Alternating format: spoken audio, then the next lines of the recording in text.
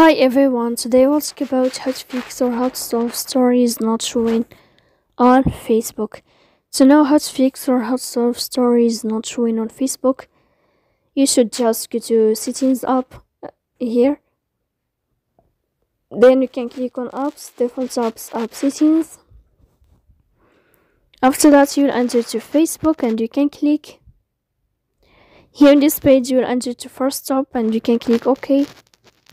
Here we'll enter to the window of storage. Then you can click clear cache. Don't click clear data because that can cause the errors in your app. In the end, you can turn off your phone and you can wait a moment to turn on your phone again to fix that problem. So please don't forget to support us by like and uh, subscribe. See you next time in another video and uh, thank you for your attention and your watching.